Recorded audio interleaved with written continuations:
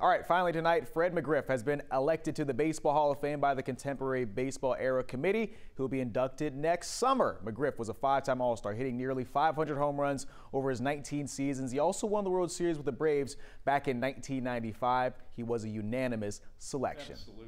Meanwhile, Braves legend Dale Murphy fell short once again. He'll have to wait another three years for the next bout.